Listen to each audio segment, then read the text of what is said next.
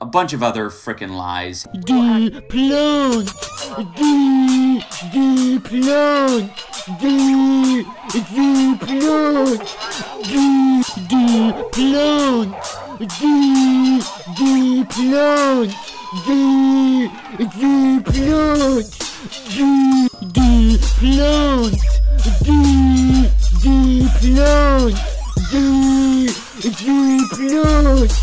the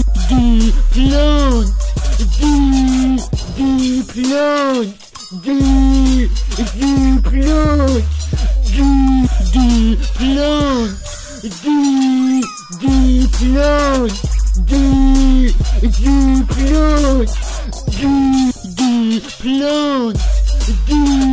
the plant, the the plant, the the plant,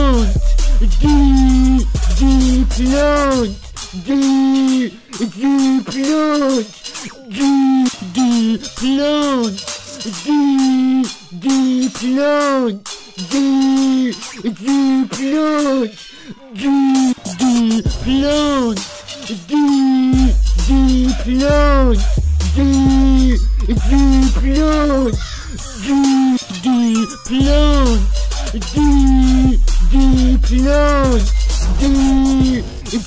plonk Du, du, plonk Du, du, plonk Du, du, plonk Du, du, plonk Du, du, plonk Du, du, plonk Du, du, plonk plant, the the plant, the Yeah, you're exactly like Soulja Boy. Say you don't wanna look like a little bitch, but dude, you're gonna be crucified. How can you claim that shit when you're too scared to go in on PewDiePie? Little hoe, little bitch, suck my 5.3 inch dick. Admit that you just got pounded. Mm. I'd say take the L if you could pronounce it. Get it? Because you're Asian? That's what you wanted, right? Hey, let's make fun of the Ashenbow with his Ashenbowish eyes. Jesus Christ, you're as predictable as a house tour.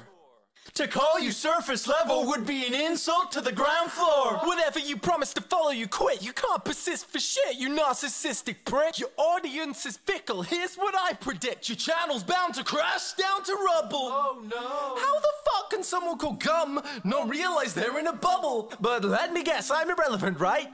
Isn't that your excuse? When you're too stupid to explain your views because you're as basic as a one block Rubik's Cube?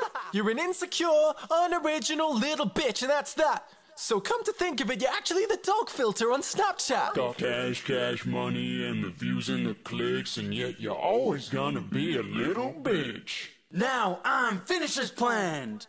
It was just three minutes, so it wasn't that bad, but I got one question to ask you, bro. Did it feel good though?